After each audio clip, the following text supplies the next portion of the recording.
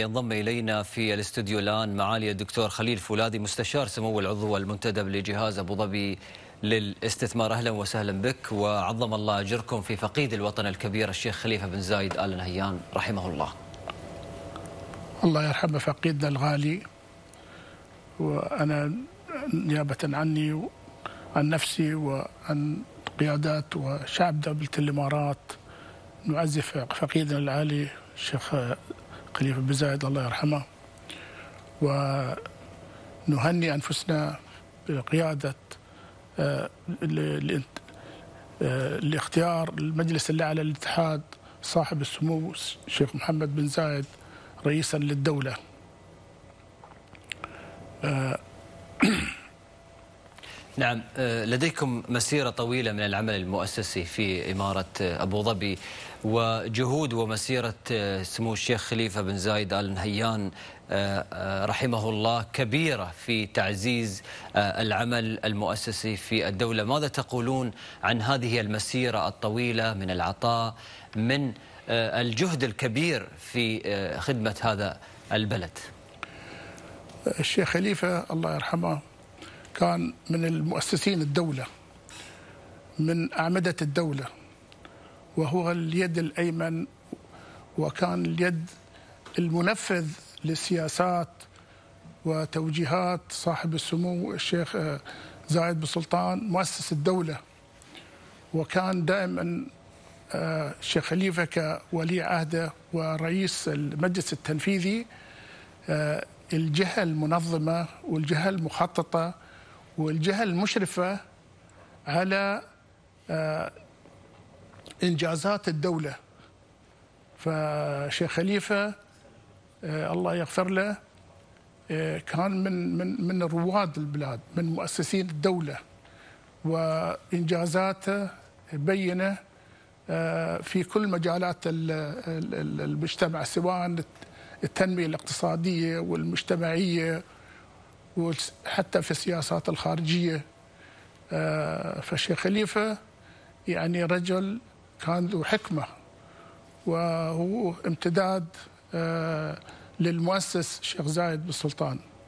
نعم الكثير وكل من كان بالقرب من الشيخ خليفة يصف هذه الشخصية بأنها شخصية لديها من الحكمة لديها من الطيبة لديها من الكرم.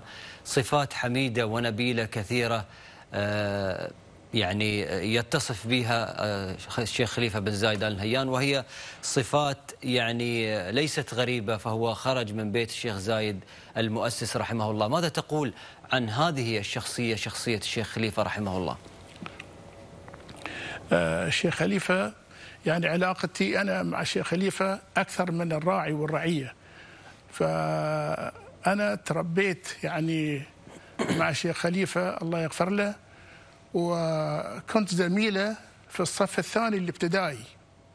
يعني آه، اهتمام الشيخ زايد بالتعليم. هذا يبين اهتمام الشيخ زايد بالتعليم. لما فتح أول مدرسة في أبو ظبي آه، ما كان هناك في مدرسة في العين. فالشيخ زايد رحمة الله عليه بعث الشيخ خليفة إلى أبو ظبي ليلتحق في المدرسة الجديدة. ف وكان آه، الله يغفر له من من الطلاب المتميزين. آه، وكان يبين عليه في هذا الوقت في في شبابه. يعني في هو عمر يمكن 12 سنة أو 13 سنة بس كان يعني من عنده الصفات القيادية. ونحن نحس في هذا الشيء ونحن صغار. فعلاقتي أنا يعني معاه يعني من من الطفولة.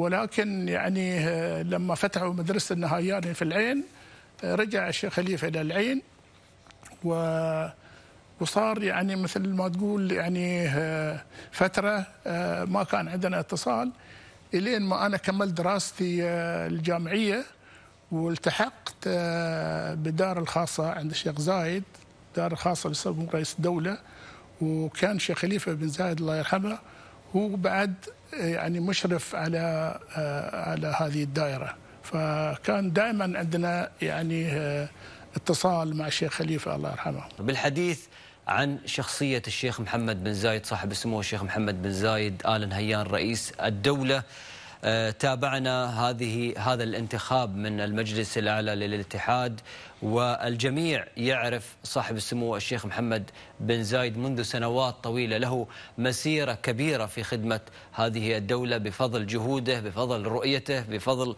آه، جهوده على الصعيد الدولي والإقليمي وأيضا جهوده في داخل الوطن من تأسيس مشاريع من رؤية مستقبلية من دعم للشباب والاستثمار في الإنسان. ماذا تقول عن شخصية صاحب السمو الشيخ محمد بن زايد آل نهيان الشيخ محمد بن زايد الله يوفقه هو امتداد للشيخ زايد. وفكره تنموي تطوري في كل المجالات. أثبت الشيخ محمد بن زايد في قيادة القوات المسلحة لهذه السنوات في تطوير القيادة المسلحة ومن آه، صرنا دولة الإمارات من الدول المتقدمة جدا في هذا المجال. ودخوله للتقنيات الجديدة آه، في في في في المجال العسكري. والشيخ محمد يعني كان اليد الأيمن المغفور للشيخ خليفة في قيادة المجلس التنفيذي والذي كان تقوم بتنمية آه، الإمارة آه، في كافه المجالات. والشيخ الشيخ محمد آه، الله يحفظه دائما يقولنا التركيز يكون على البشر التركيز يكون على التدريب التركيز يكون على التمكين وخاصة تمكين المواطنين في قياداتهم في إنجازاتهم في عملهم. و ومرة آه، كنت أحضر آه، المجلس اقتصادي أول مجلس اقتصادي شكل آه، في أبو ظبي. أول سؤال الشيخ محمد كان كم نحن نصرف في التعليم من الميزانية؟ وكيف نحن ممكن نتطور يعني نطور البشر اللي عندنا أن يوصلون إلى درجة لأنهم يكونون قيادات الدولة؟ فيعني كما نعلم أن يعني الدول رقيها تبني على ثلاثة أو أربع آه، ركائز. يعني الموارد الطبيعية والموارد مالية. البشرية والقيادة. القيادة هي أهم دور اللي تربط الأشياء هذه في بعض. ونحن الحمد لله توفقنا وتوفقنا اليوم توفيقنا بقيادة جديدة قيادة شابة آه لشيخ محمد اللي عنده هذه الرؤية للمستقبل والمستقبل اللي ركيزها المواطن ركيزها البشر ركيزها مثل ما يعني تتكلم عن عن عن ال 50 سنة آه، في المستقبل إن كيف الاعتماد يكون ما يكون على النفط ويكون على الموارد الأخرى وقطاعات الأخرى وبدأ في في تنفيذ هذه المشاريع آه، من فترة. وإن شاء الله يعني تكملة إلى الأمام. ونحن كمواطنين وكمسؤولين يعني ثقتنا كاملة بقيادة الشيخ آه، محمد بن زايد. وهو امتداد يعني للمؤسس. ونحن مطمئنين بهذه القيادة. وإن شاء الله التوفيق لدولة الإمارات. ونحن نشوف آه، دكتور هذا التطور وهذا الازدهار وهذه التنمية في دولة الإمارات آه، في المقابل هناك جهد كبير ومسيرة طويلة من العمل والرؤية والتوجيهات من القيادة الرشيدة. ماذا تقول عن هذا الجانب يعني أنت كنت بالقرب من قيادة آه، الدولة في في العمل المؤسسي في الإمارة ماذا تقول عن هذه الرؤية عن هذا الجهد الذي يقومون فيه للوصول لما وصلنا إليه الآن وبعد عندهم الطاقة وعندهم الرؤية أن نوصل لمراتب أعلى وأكبر بين دول العالم. شوف الأرقام تتكلم. آه لما استلم الشيخ محمد آه ولية العهد في 2004 الناتج القومي لدولة الإمارات كان 120 مليار دولار. اليوم الناتج القومي 420 مليار دولار. يعني نحن نتكلم على 300% تضاعف. مضاعف في في في في موارد الدولة وفي قوة اقتصاد الدولة. وهذه ما جت من فراغ ولا جت يعني من من ثروة بترولية ولا نفطية. هذه كانت من القيادة. اليوم يعني ال ال الاقتصاد غير النفطي يشكل 72% من الاقتصاد القومي في دولة الإمارات. وهذه تبين هذه الأرقام هي اللي تبين الإنجازات العظيمة اللي تحققتها القيادة. و وال ودائما يعني أنا يعني كان يرسنا في مجلس إدارة جهاز أبو ظبي للاستثمار والشيخ محمد دائما رؤيته المستقبلية. يعني مثلا ركزوا على قطاع التكنولوجيا المتقدمة. رقدوا على ال ال ال الأشياء الذكية. يعني توجيهه يعني صراحة صائب. الحمد لله. ماذا تقول عن شخصية صاحب السمو الشيخ محمد بن زايد؟ أنت يعني عملت بالقرب من صاحب السمو الشيخ محمد بن زايد.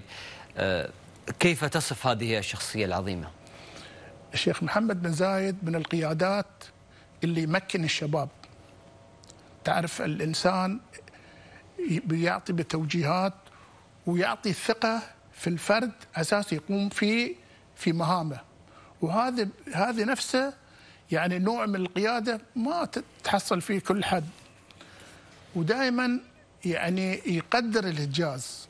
فدائما يعني يحتفل بال بالأشياء بالنتائج. فيحسس بالناس المسؤولين أنهم لهم قيمة ان أن هذا الإنجاز يعني شيء مشترك. فهذه من صفات القائد. ودائما يعني يحب التشاور يعني ياخذ المشورة من الناس قبل أخذ القرارات. وهذه من من صفات القائد أيضا. نحن مقبلين بإذن الله على حقبة جديدة من الازدهار والتنمية والإنجازات في دولة الإمارات. رسالة توجهها للجيل الجديد الذي سيكون جزء مهم وعليه رهان كبير وثقة بإذن الله في محلها من القيادة الرشيدة. مثل ما قال الشيخ محمد بن زايد يعني الإنسان هو المستقبل. فطور نفسك اعمل بجهدك والإنسان مسؤول في كل مكان في العمل اللي يقوم فيه. فكل إنسان مكمل يعني نحن كدولة الدولة مكملة من من أفرادها من عائلتها. نعم بلا شك هو عمل كبير وإنجازات بإذن الله مستمرة وسيرة ومسيرة تستمر منذ عهد المؤسس وإلى المستقبل ماضون بثقة وتفاؤل بإذن الله، الدكتور خليل فولاذي مستشار سمو العضو المنتدب في جهاز أبو ظبي للاستثمار، شكرا جزيلا لك. شكرا جزيلا لك.